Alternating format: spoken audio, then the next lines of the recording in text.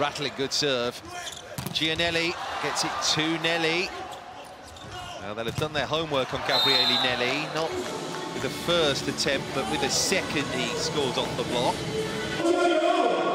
That's the leading combination for Italy.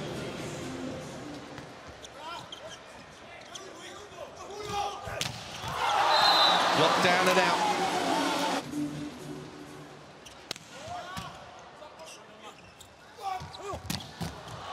Pipe finish. Super digging. Opposite side, Nelli gets it right that time. So, work it to the more. So the giant, Zhang, at 2 metres 11, keeps the service safe. Nelli, oh, and he only needs the, the merest hint of a gap, the merest hint of open court.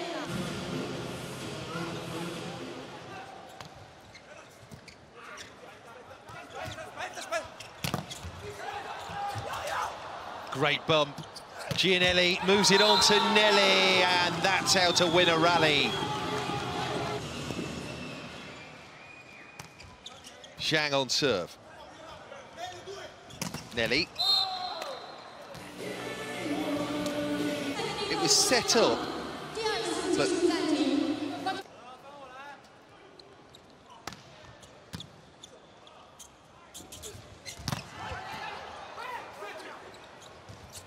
Giannelli definitely touched that from Anzani, but China, to their credit, read it. Pesaresi. Oh, that throw down from Nelli. Absolutely delightful again. Prod Pro have been head and shoulders above China in this second set. Reflexes from Giannelli. Nelli fittingly to score off the block, 25-13. That's a blitz in set two here to go with Italy's 25-21 triumph in the first set against Iran on the opening day. Italy beat Germany in straight sets. They're on course for Moscow-born Oleg Antonov now.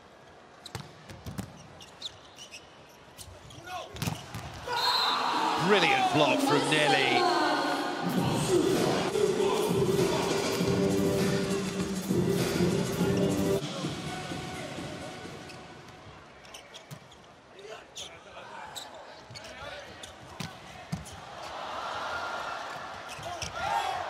Shoved back into play.